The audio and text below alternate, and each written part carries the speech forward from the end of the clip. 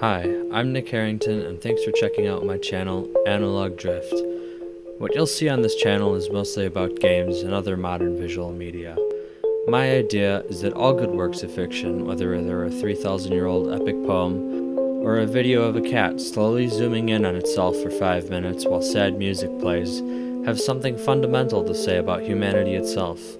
Analog Drift is going to look into aspects of some of those works, mostly games, but also TV, film, and other media that are often ignored, underrated, misinterpreted, or overlooked, and try to allow for some introspection. And I'll do Let's Plays of some games that are worth talking about or haven't been given the attention they deserve.